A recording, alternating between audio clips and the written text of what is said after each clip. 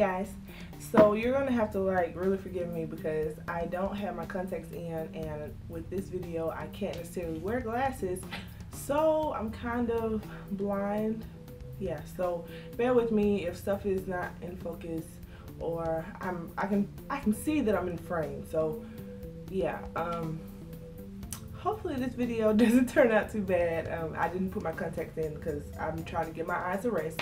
But um, I wanted to show you guys my hair before I get started with the actual concealer video. That's why I left it down. Um, this is crochet braids that I'm wearing right now and I really like them. I think this is like the Grace hair or something. It's just regular braiding hair and I like it because it kind of looks sort of kind of like a twist out or a braid out or something like that. And I have it in number four which is this dark brown color here. And then I think I think this reddish color is like a 33 it's very big. I think actually it's kind of toned down a little bit. It was a lot bigger than it was. And I've had it for about two weeks. And I cut the front a little bit. I am not good at layering or anything like that but I cut the front a little bit and it's pretty long if I bring it all and scoop back. Move that mirror. It's pretty long like it comes like to my boobs. I don't know if you can see. But yeah I left it down just to show you that and um that's it. Okay so let's get to the concealer. This isn't necessarily a foundation routine because I pretty much do my foundation the same way. I just change concealers I know I didn't do a video for W Wednesday. That's because I was really sick and I'm still kind of sick now, getting over a cold and sinus problems and stuff like that. But I always make sure I do a post on my blog. So I always check there on Wednesdays. If a video isn't loaded up, make sure that you go check my blog because I always have a post. And this past Wednesday was, I talked about the um, Above and Beyond Full Coverage Concealer from NYX. And in the color orange. And I heard people talk about this. I had a couple people give me recommendations and say to try this concealer. So when I saw it, where? When I was in Atlanta, I went to a beauty supply store down there, the Hall. I'm not sure if I did a video on it or I did a blog post, but when I saw it in a beauty supply store, I decided to go ahead and snatch it up because I haven't seen it here. And I've really been loving it. So I wanted to show how to use it because I had a person come in and say that they, you know, really didn't know how to use it or it was like scary to them. So I just wanted to show how I use it, show that it's not really scary and that it actually does give like a highlighting effect. So one thing I talked about in my blog post is that I don't like that it's in a tub because I kind of have to scrape it out with my fingers. Since I am going out, I, I am going to do like my full foundation routine. So that includes my Milk of Magnesia. I don't know if y'all have seen my um, foundation routine video or not. But if you haven't, I put Milk of Magnesia on my face just to help with the oil. And I use the Equate version. You don't necessarily have to use the name brand. I have this big monstrosity on my face. Like, it's huge. And so annoying. But yeah, I just put it on my T-zone and my cheeks. Are cheeks considered T-zone? I'm pretty sure they are. But yeah, just rub it in like that. Um, then I put my primer on and it was not in focus. I'm sorry. I told you I'm blind, but this is the Korres Mattifying Primer and my holy grail. Love it. So, and then I just dab that on my face. I do though want to try the Make Forever primer. I really want to try that. So the the matte velvet primer, but it's sold out on Sephora's website. And last time I was in Sephora, I don't remember seeing it. So hmm, is it hard to get? I don't know if it's always available or what. Now that I've got my face primed and ready, it's time for me to put my concealer on. I don't necessarily use a brush with it. I guess you could. I will for this video, I guess. I'm gonna be using the e.l.f. eyeshadow C brush. And yeah. if you want to. This is a really creamy concealer.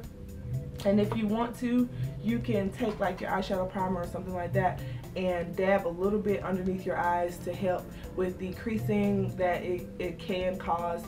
I find that when I do that, it makes my under eye look really dry. Like my Urban, Urban Decay primer maybe is too, I don't know, too good at what it does because it makes my under eyes really, really dry. So I don't like to use that method. So uh, yeah, if it works for you, do that.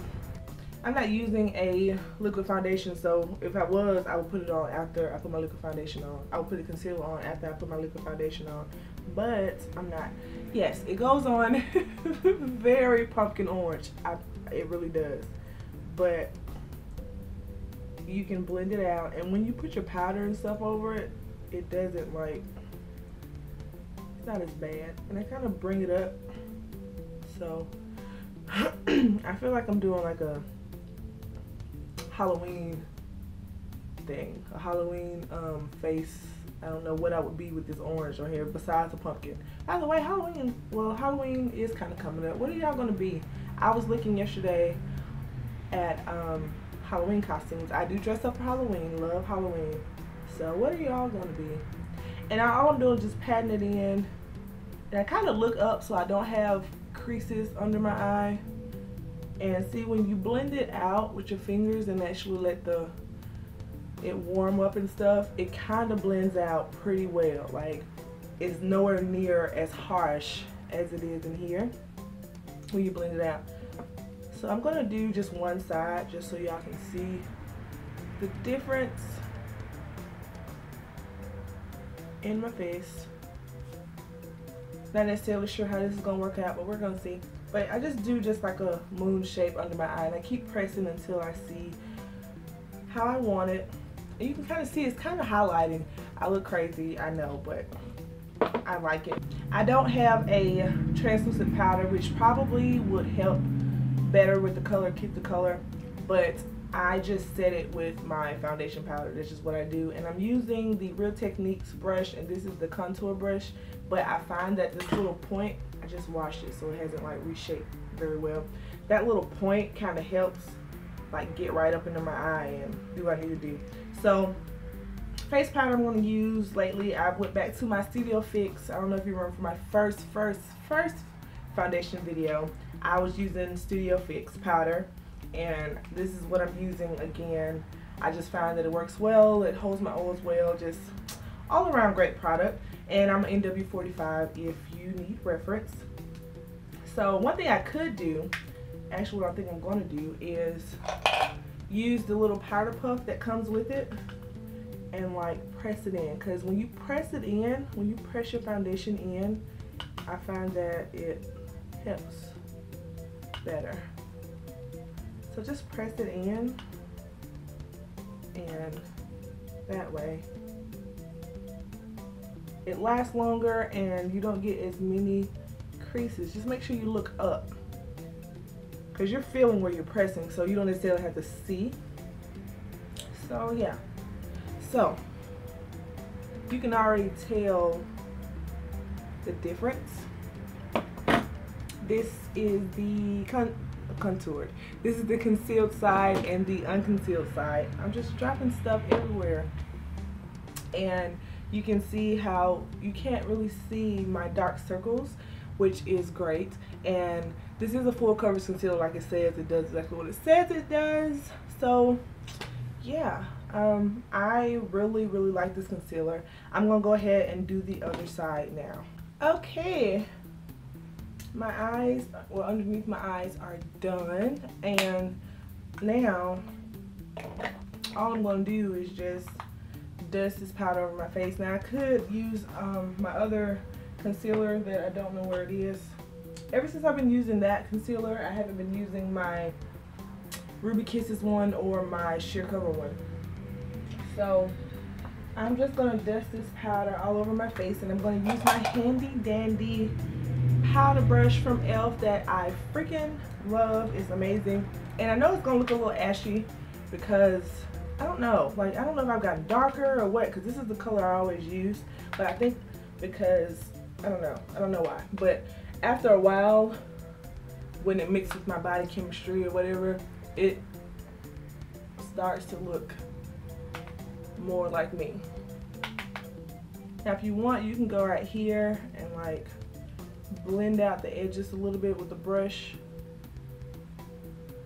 And that way it kind of goes seamlessly into your powder. So it's not like highlighted and then, okay, whatever. You know, so you can do that. I just take the powder and go around. That's a Max bus. Do y'all have Max buses in your city? Public bus, whatever. I don't know what it's called in your city. I'm not necessarily sure if Max is universal. Yeah. But, yeah. That's all I do. I just go around. And once my body chemistry mixes with it, it'll be a little bit more